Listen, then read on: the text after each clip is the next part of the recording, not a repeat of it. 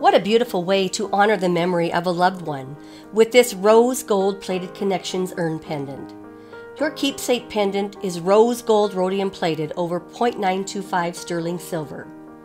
A small heart is created with the two people on the pendant, and they are cradling a trio of gems between them. On one side is a small screw that opens to show a small cavity that you can place a tribute to your loved one in.